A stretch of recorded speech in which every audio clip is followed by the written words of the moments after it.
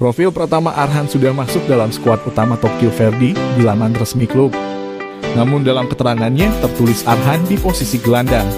Hal itu diketahui dari unggahan di akun Twitter resmi klub kasta kedua Jepang Jitulik itu Jumat 15 April sore waktu Indonesia Barat. Dalam unggahan itu tampak foto Arhan dengan kostum hijau yang jadi kebanggaan Tokyo Verdy.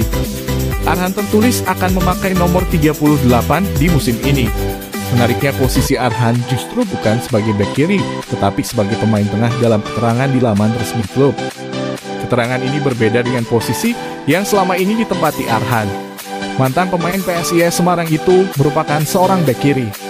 Peran itu dilakoninya bersama PSIS dan juga Timnas Indonesia.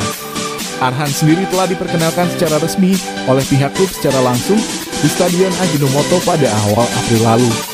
Arhan hadir di Stadion Tokyo Verde bersuawita Trinita dalam laga lanjutan Gitu League. Pemain berusia 20 itu muncul di stadion untuk kali pertama sejak resmi direkrut Tokyo Verdy dari PSIS. Pemain muda terbaik di Piala AFF 2020 itu akan sudah lebih dulu berlatih dengan rekan-rekan setimnya.